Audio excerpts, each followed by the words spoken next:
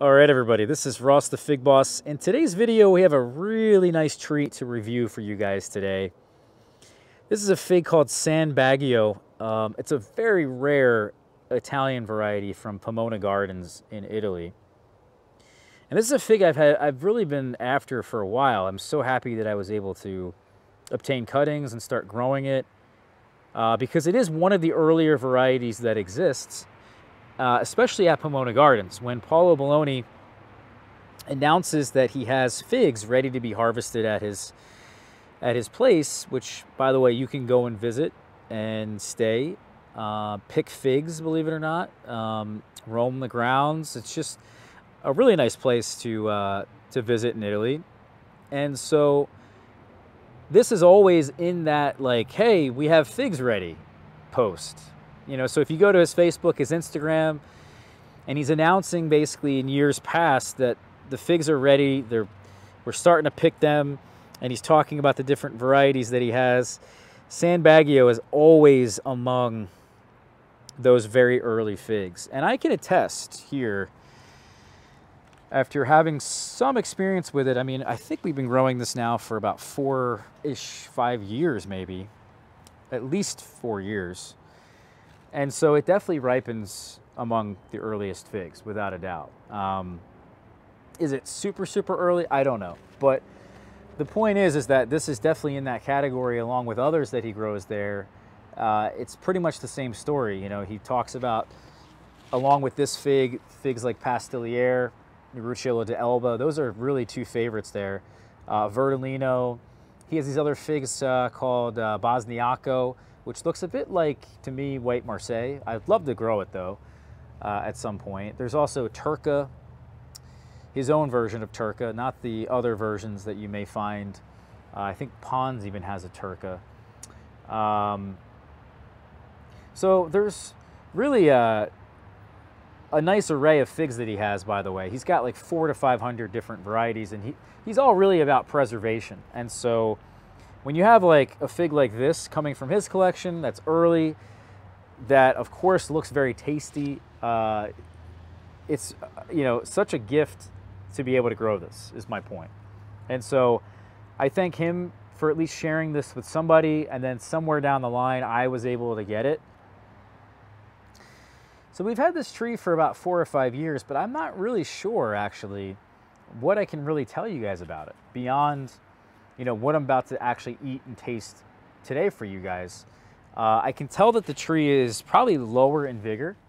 Uh, the branches are typically a bit thinner than other varieties, and so that's a good indicator of lower amounts of vigor. It doesn't get nearly as tall. This Dall'Osso, the Smith behind you guys is 13, 14 feet right now.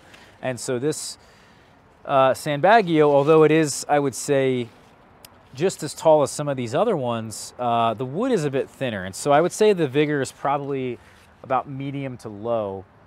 Um, I also probably could tell you that it can fruit in lower light conditions because a lot of these trees here really don't get enough light. Um, and so a lot of them are planted so close together. There is a lack of light here in this, southern, this southern exposure in general. Um, and also because they're so close together, there is a lack of light going to each individual tree. And so a lot of these struggle to actually set their fruit buds because of that lack of light. The other thing that this is definitely combined with is, well, these trees either get cut back to six to 12 inches every year, or last year they got killed all by the cold. So because of that, and that heavy pruning that we do in the winter, um, not just the amount of the lack of light that we have, but because these trees now send up these really vigorous suckers from the base, we can definitely struggle to actually see good fruit set. The hormones are just totally out of balance. And so from dieback though, uh, and considering all the circumstances, it's actually one of the better figs that I have in this whole plot. Um, pretty much every year I've had it, it has put out figs to some degree. Um, now, of course, this is the only one I think I'll get this season. So not a whole lot to show for it. Last year we got a couple figs to ripen. Didn't really get a great picture of what this variety tastes like and what it's really about. So I'm hoping now in the future when we bend a lot of these branches over and cover them, plop them back up in the spring when we protect these trees, we'll have a lot more success, I think, with this variety going forward. I have, I have no doubt. And really across the board with all these figs I have here uh, that are planted in the ground. So I'm looking forward to that, really being able to just break down this fig in a better sense. It's early, like I said, the vigor's, you know, a little bit lower, has a better ability to set from dieback and also fruit in lower light conditions. And uh, so that's all I really know. I think the, the shape of the fig is a bit round or a bit flatter. It's small. Um, this one in particular looks a bit strange in terms of the skin color. Uh, this is more of a yellowish fig, but this one here is kind of semi-dried on the tree. The bottom has a little bit of an indent actually that goes upwards, kind of like the variety Nefiach. And um, the opposite of like Moro de Caneva. The eye is completely closed. The skin feels very soft and chewy. Like I imagine it's going to be chewy. There's a little bit of like furriness to the skin. And the pulp is an interesting red color. There's also a lot of seeds that are visible in here.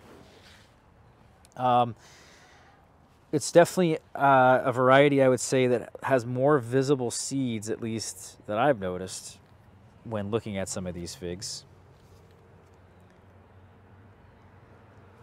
So I imagine it's going to have a better seed crunch. I don't know, but you can definitely see a lot of those seeds. Uh, and the skin is more along the lines of like something that's in between brown, green, and yellow. Um, very strange skin. And the pulp, as I mentioned, is like a different red. It's a different shade of red. It's like not exactly purple. Um, but the redness in here is like um,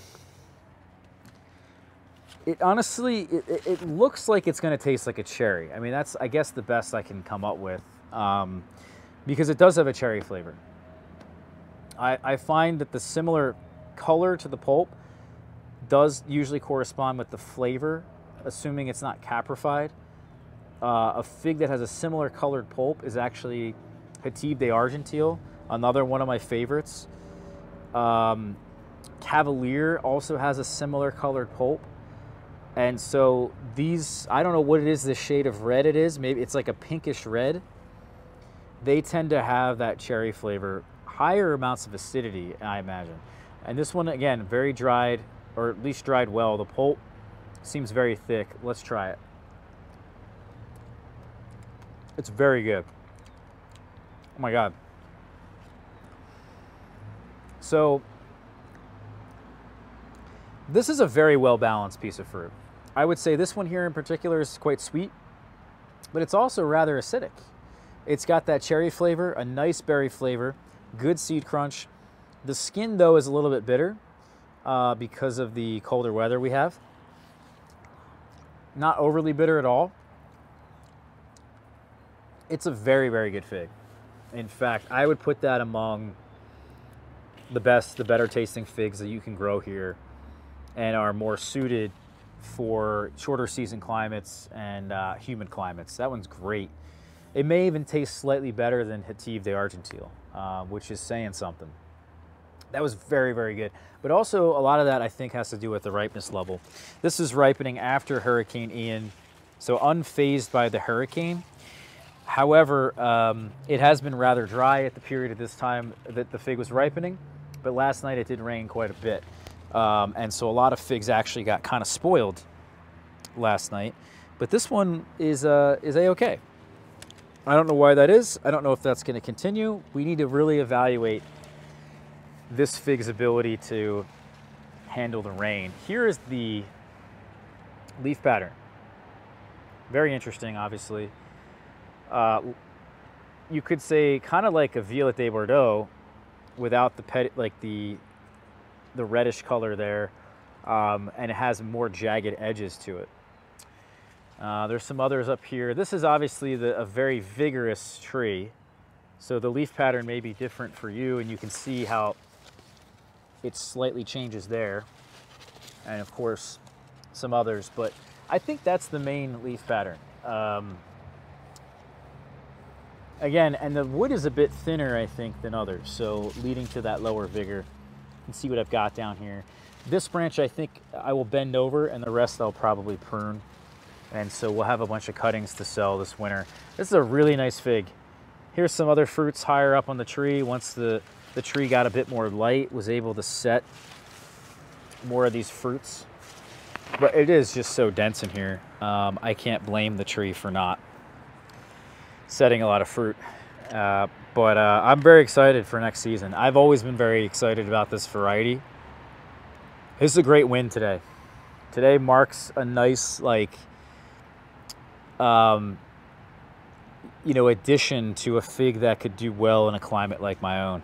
And that also, by the way, is extremely tasty. That was very, very good. Um, so anyway, guys, that's the video. Hit that subscribe button. Check out our blog, figboss.com. We've had so many changes over there. The website's looking great. There's a lot of traffic. People are really into it. I'm happy. Please go over there and check out the website. We'll see you guys soon. Take care. We'll catch you for the next one.